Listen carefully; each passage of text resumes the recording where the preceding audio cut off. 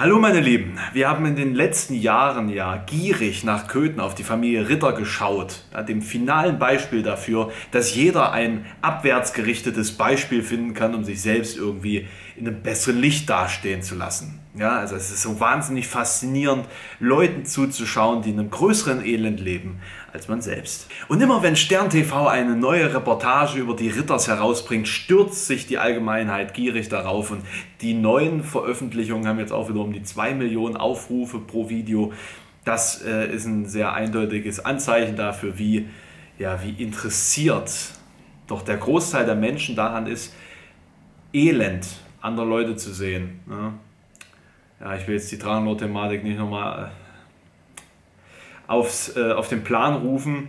Ähm, es geht ja hier um etwas anderes. Ne? Und äh, in diesem Video, in diesem neuen Ausschnitt geht es darum, dass Karin Ritter, also die Mutter dieses Clans, jetzt aus ihrer Übergangswohnung rausgeworfen wurde, um jetzt in eine Obdachlosenunterkunft zu kommen. Und in dieser Obdachlosenunterkunft, in der sie früher gelebt hatte, ähm, hat sie jetzt keinen keinen festen Raum mehr, sondern sie darf dieses Gebäude nur noch ab 18 Uhr betreten. Ähm, es ist quasi per äh, Hausordnung verboten, da eine, ja, eine, eine wohnliche Umgebung einzurichten. Und alles das, was sie von ihrem ehemaligen Hausrat mitnehmen durfte, sind zwei Ta Tragetaschen. Ja? Und all das, was an ja, Möbeln vorher existiert haben, an allen, alles, was ansonsten übrig geblieben war aus, dem alten, aus der alten Wohnung, ja, das wurde verschrottet.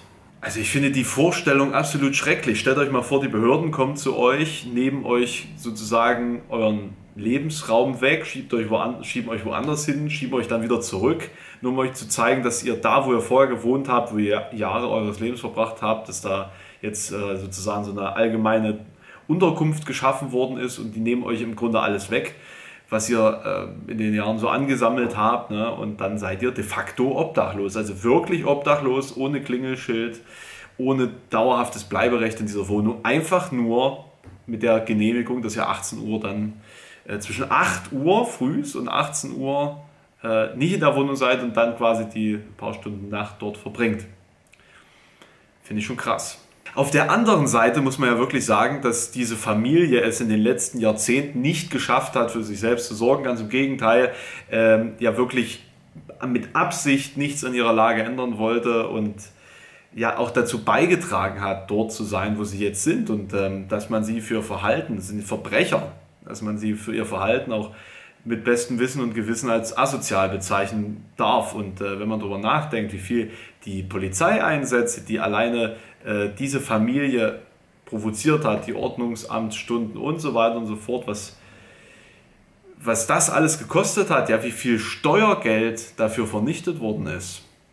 Ja, es ist einfach frustrierend, über sowas nachzudenken. Es ist frustrierend und ich glaube, es ist völlig normal, dass einem ab und an auch solche Gedanken im Kopf herumschweifen.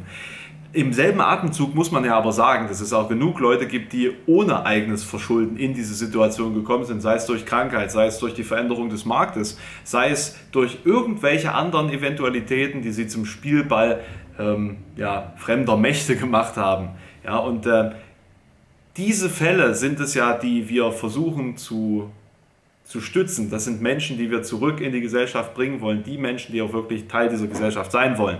Und man kann ja nicht jeden Fall einzeln betrachten. Es ist ja absolut unmoralisch zu sagen, du bist es wert, gerettet zu werden und du nicht. Und genau deswegen gibt es eben solche Fälle, die dann eben als, als riesengroßes Negativbeispiel dastehen und die natürlich auch irgendwo äh, Unbill hervorrufen, wenn man sie einzeln losgelöst betrachtet. Ja? Aber es, es geht ja um die anderen. Es geht um die anderen, die wirklich ein Teil dieser Gesellschaft sind und die, die auch immer versucht haben, ähm, mitzukommen in unserer Gesellschaft. Ja? Und äh, dementsprechend finde ich es eigentlich schade, dass man solche Beispiele immer wieder deutlich hervorbringen. So, wenn wir jetzt sehen, dass auch diese Menschen Unterstützung erhalten und in Deutschland de facto niemand auf Hilfe verzichten muss, dann stelle ich mir doch persönlich die Frage, wieso sehen wir denn eigentlich in den Großstädten vermehrt Obdachlose? Wieso gibt es Menschen, die keine Wohnung haben, die verwahrlost äh, in den Ecken liegen müssen? Wie, wie kommt das denn eigentlich, wenn wir doch in einem Land leben, wo theoretisch jeder unterstützt werden kann? Ich habe mich dazu mal ein bisschen belesen und einen sehr interessanten Artikel bei Brand 1 gefunden. Den möchte ich jetzt hier an dieser Stelle mal zitieren. Obdachlos wird man nicht einfach so. Wer Mietschulden hat und Gefahr läuft, seine Wohnung zu verlieren, der ist für die Behörden meist kein Unbekannter mehr. Reicht ein Vermieter bei Gericht eine Räumungsklage ein, dann geht automatisch eine Mitteilung an das Sozialamt. Ne? Also das, du bist sozusagen in diesem Staat immer und überall gläsern. Naja, dieses Schreiben dies, dieses schreibt dem Mieter einen Brief, bietet Hilfe an, vermittelt zwischen ihm und dem Vermieter und übernimmt oft auch die Mietschulden. Der Mieter muss nur einen kleinen, aber entscheidenden Schritt machen.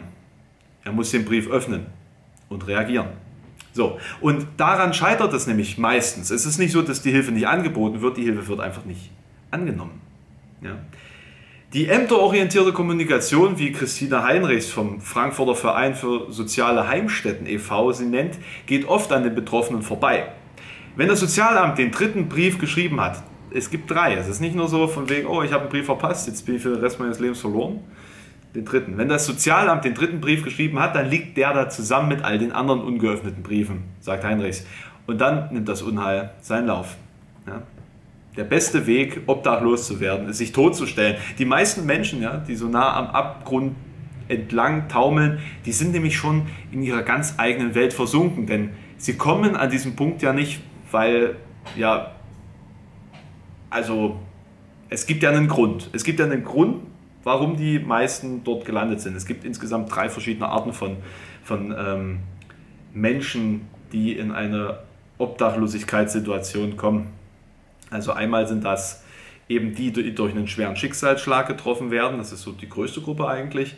Dann gibt es die, die ähm, im Endeffekt immer schon randständig gelebt haben und irgendwann aus dem sozialen Raster rausfallen, Seeleute zum Beispiel.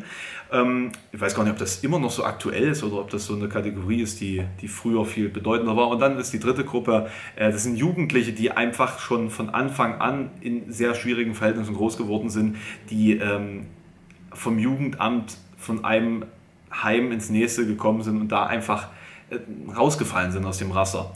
Da denkt man ja, wenn man das jetzt sieht, das Elend Hamburg, Frankfurt, Berlin, dass die Kommunen das irgendwie akzeptieren, weil es billiger ist. Aber das stimmt überhaupt nicht. Das stimmt nicht. Das habe ich jetzt auch gelernt durch diesen Artikel, denn ähm, tatsächlich ist es siebenmal teurer, die Leute, äh, nachdem sie ihre Wohnung verloren haben, zu behandeln, als sie einfach präventiv zu versorgen. Die Stadt Hamburg gibt im Jahr 46 Millionen Euro aus. Allein für 4000 Leute. 4000 Leute! Ne? Und diese Zahlen kommen nicht von ungefähr, die kommen dadurch zusammen, dass manche von denen einfach zehnmal im Monat im Krankentransport weggebracht werden. Das kommt natürlich auch davon, dass die Leute draußen natürlich eine viel geringere Lebenserwartung haben, viel höheres Lebensrisiko haben und natürlich die, die auf der Straße leben, auch nicht am gesündesten leben, logischerweise. Ja. Denn die Menschen wollen nicht anders. Ja, sie waschen sich nicht, weil sie es nicht, nicht, nicht, weil sie es nicht könnten, sondern weil sie es nicht wollen. Um nochmal in den Text reinzugehen. Ähm, fast alle von ihnen sind psychisch krank, sagt Christine Heinrichs. Brand 1 fasst dann zusammen, Obdachlosigkeit entsteht durch Lebenskrisen und das Unvermögen, damit umzugehen und Hilfe in der Not zu suchen. Und oft ist eine psychische Erkrankung daran schuld. Und an dieser Stelle müssen wir einfach ein, Fazit zulassen, weil wie hilft man den Menschen? Also ich bin jetzt an einem Punkt, wo ich sage, keine Ahnung, weil wie hilft man Menschen, denen, die nicht wollen, dass man ihnen hilft? Ja?